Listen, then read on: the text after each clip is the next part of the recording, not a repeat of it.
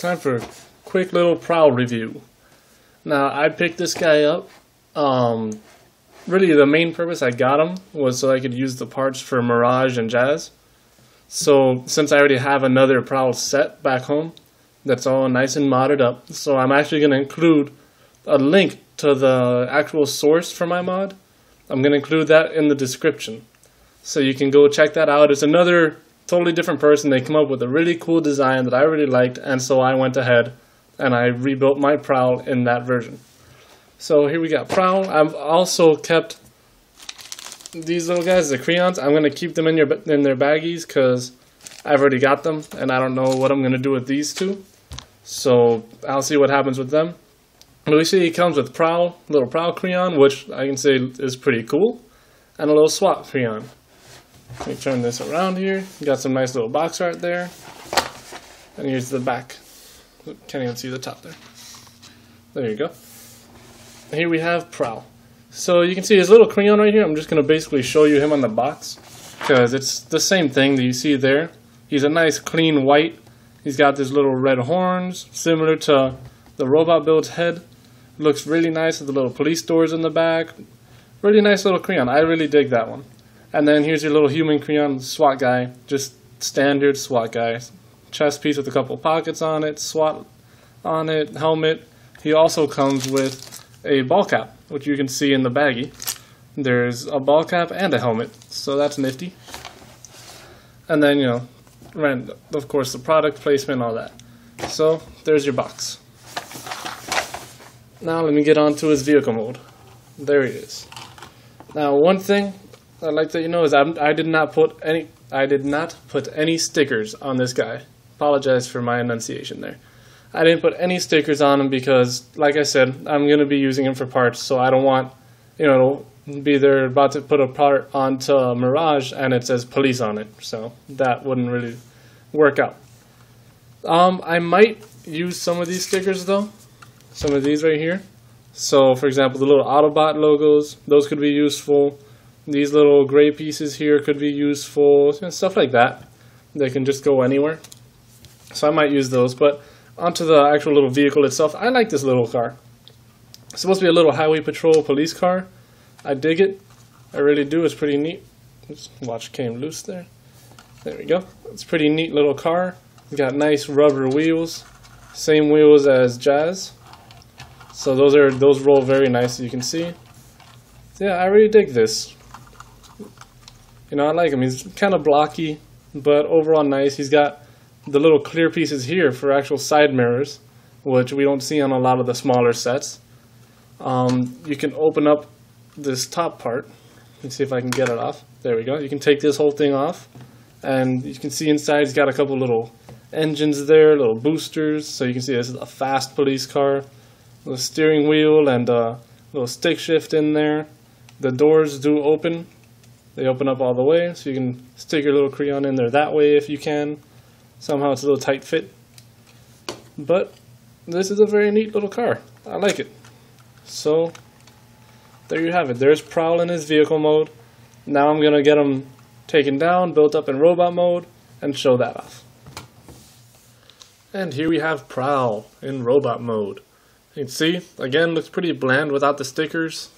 So sorry about that. You can see the stickers where they are up here on the box. Actually, let me try and angle this up a little more so you can see that better. So you can see where he would have stickers, you know, the little grill stickers here on the chest, which come from here. And then you'd have things like this red and black kind of mesh piece would go here on the crotch. Things like that. You'd have prowl here. Um, just other stickers, police on the doors, which actually, if you did have the police stickers on here, they'd be upside down. On the box, it shows them right side up. Here, upside down. So just giving you that heads up that when you do build this, if you want to keep him in this form, you might want to just come back here. It's a really easy fix to just basically take this and flip it over. Very easy to do. So here's Prowl. Now let me give you the basic rundown of what I like and what I don't like. What I like, as always, head sculpt. Very nice. Very nice. You see that's a little bright there. There we go, that's better. You can see very nice nice clean white with the red horns, blue eyes, nice silver face, very cool. I dig that. I like, you know, he's got the little fist, rubber wheels. You know, he looks pretty nice, but he also. I mean, look at his, where his shoulders are at. That's here. His head's over here. Like, that's that's way too much space in between those. I I don't know what they were thinking giving that much space in between his shoulders and his head. I mean, that's just ridiculous. So that looks very, as you can see, it's very derpy. Very uncool. You know, he's also pretty thin. You can see he's got a very thin build. He doesn't look very built up. You know, he looks kind of like Popeye with the wheels down here in his forearms. It makes his forearms look bigger than his upper arms, which gives him that little Popeye look. You know, it's not too cool. So, I again, I'll say it again. I'm putting in the description a link to a mod that I used for my prowl, which I have him currently in that same form. I think it looks really awesome. He's got these hood pieces are moved up here. You know, the shoulders are brought up. Everything's basically rearranged to give him a much better build. Make him look much better. He's not as posable in terms of his arms being able to move everywhere like these guys, like this guys are. You know, he's got ball joints there that can go everywhere. But I still think I I think he sacrificed a little bit of movement for a lot of awesome.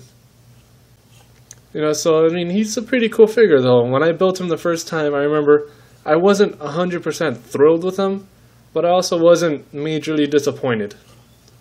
So, again, me try and give you some more little shadow here. Might want to turn off one of those lights. So, but he looks pretty neat, you know. With some mods, he's definitely worth it.